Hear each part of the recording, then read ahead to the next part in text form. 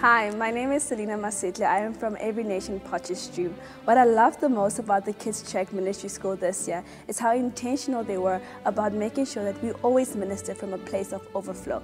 They're really concerned about our spiritual well-being and empowering us to go into the community and raising up children that are going to live for Jesus now and not only in the future.